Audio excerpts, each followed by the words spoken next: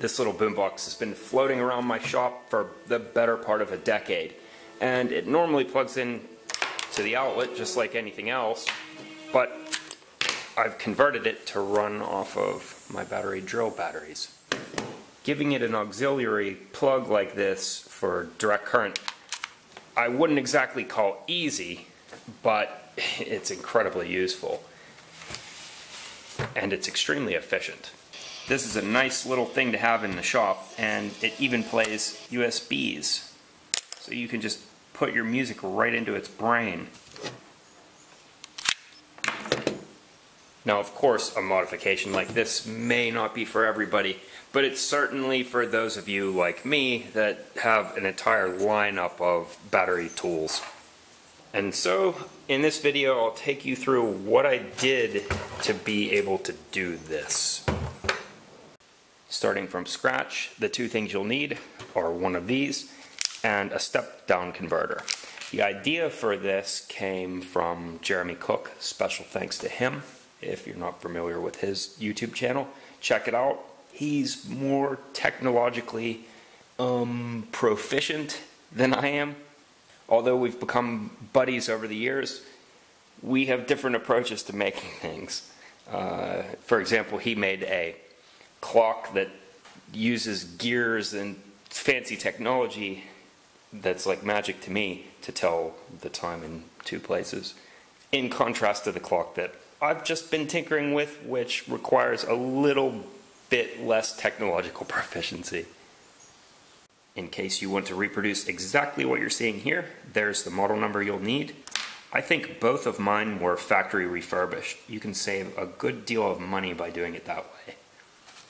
You will also need one of these. It's called a buck converter. And you'll also have to attach its heat sink. They come separate. More on that in a bit. These only cost about 10 bucks for two after shipping. My personal opinion of this product in just a few seconds, eh, it does pretty well. It does what I want. It has a pretty good sound. It plays CDs, and you can actually record a CD onto your USB with it. And the two jacks are really convenient because I can actually use this to hook it up to my laptop so that I can play YouTube audio right in here through this. My one big complaint about this model is that when you insert the USB drive, it takes a long time to load. But what do you want? It works. The big reason that I like one of these is because it fits nicely on the back of a quad and I can take it out to the fire out back or when I'm working outside. And that is the main reason that I wanted this because it's nice and secure, but it can get yanked out without destroying anything. Super simple was the idea. Okay, on with the show. Here's what it'll look like when you buy it. And we need to remove all of these things except for this one and this one. And we'll need to cut out these plastic bits here. Cutting them out is really easy. You can just make a knife cut with your utility knife here and then just snap them off with uh, needle nose pliers or something. Then a little bit of sandpaper work and it'll be good to go. Okay, now let me show you. The cord won't yank out and actually it supports its weight. And how it does that is you just tie a knot there. The display is upside down just for convenience. And let me give you a better close-up. The display is for voltage, and it's reading 9 right now. The reason that it's 9 volts is because this normally takes 6 C batteries, which are each 1.5 volts. So you just simply multiply 6 times 1.5, and you get 9. There's a little adjustment screw right here, a little teeny tiny thing, and you can twist it until you adjust the voltage to what you want it to be. Now, just so that I didn't mess anything up, I attached the outside to an LED light bulb while I was playing with it until I got the voltage right. Now, as I've said, I've removed all these clip things for all the batteries, except for the two on the far left, because it just makes a complete circuit that goes there and back. And so you simply attach the positive lead on this thing to where the positive lead of the battery would touch here, and correspondingly the negative goes to where the negative of a battery would go on that part. On the input side, it's really clearly labeled.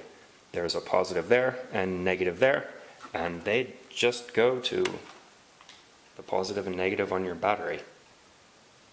The wire that I used here, it's all the same. It's just some common household 18 gauge.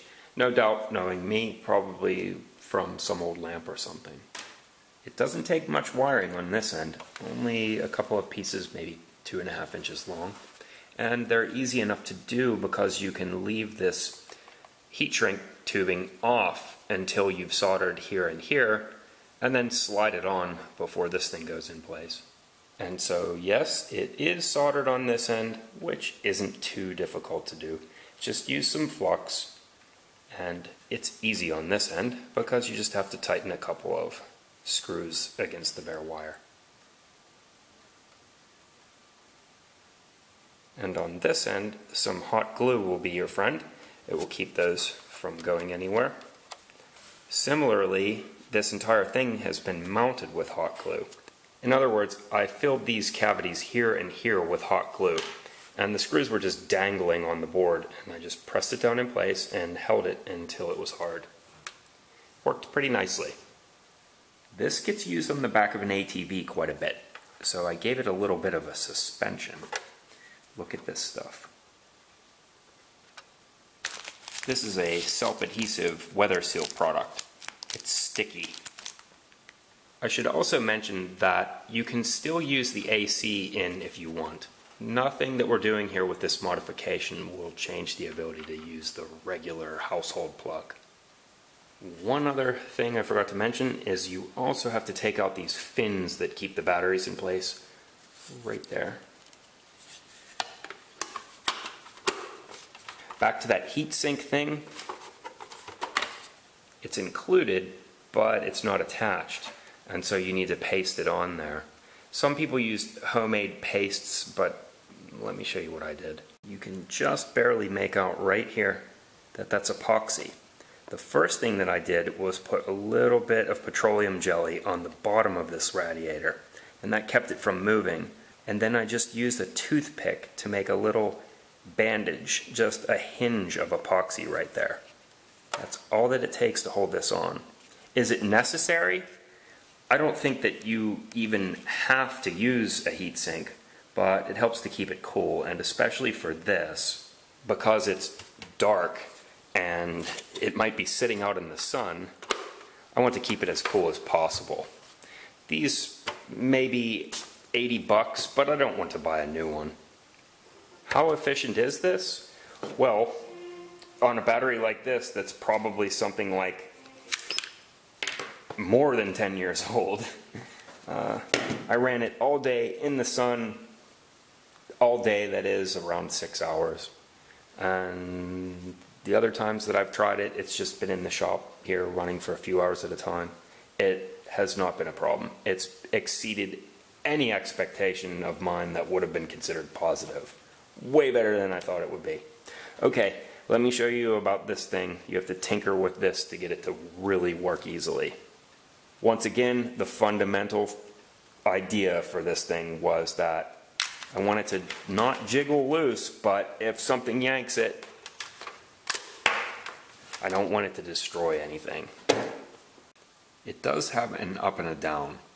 If you're concerned with maybe accidentally putting it in upside down, uh, one solution could be to just put a screw here or some other thing that keeps it from going in in this way. I wasn't too concerned with it because I'm going to be the only one that usually used, uses this. This is an easy enough shape to cut out of acrylic glass and the two little holes here are put at a slight angle so that you can make this bend in the wire to keep it from pulling at the connections on the blades. The shape also has a cut here. It's just a real thin cut to accept the blade and I did it on the bandsaw. The solder work here is not my best If you watch this channel frequently, you'd know that I've been meaning to get a new soldering iron, but I still haven't. And so it doesn't have the heat to get this thick of a thing hot. But oh well, we do what we can. I could always remake it later. What I did here was just drilled a little hole in it, the size necessary to accept some copper wiring. That's just 12 gauge copper wiring that's pressed in and then sanded off flat. Why I did that was so that the blade can get tugged at without it getting bent or destroyed. So what are these copper conductive blades? You could probably use a bunch of different things here, but in this case, I just use some of this stuff. It's just some copper tubing that you can cut a short piece of and smash it flat in the vise. But an alternative to doing that is to use a more common product like this. Copper pipe, you can cut a short piece, curl it open like this, pound it flat, and you have some copper sheet. Whatever you do, just use the underside of your battery drill as a guide, as long as you get a thickness that's really close to the blades that are on it, you'll be okay. If you want my two cents, you can't have it. But you could find a couple of pennies of your own, and that will also work. Just be sure that your pennies are dated before 1982, because pennies that are before 1982 are solid copper.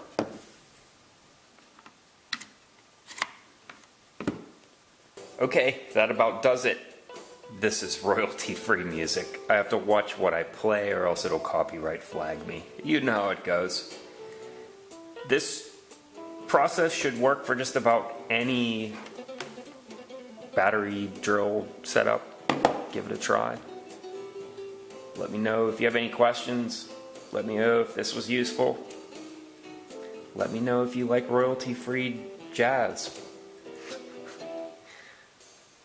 See ya.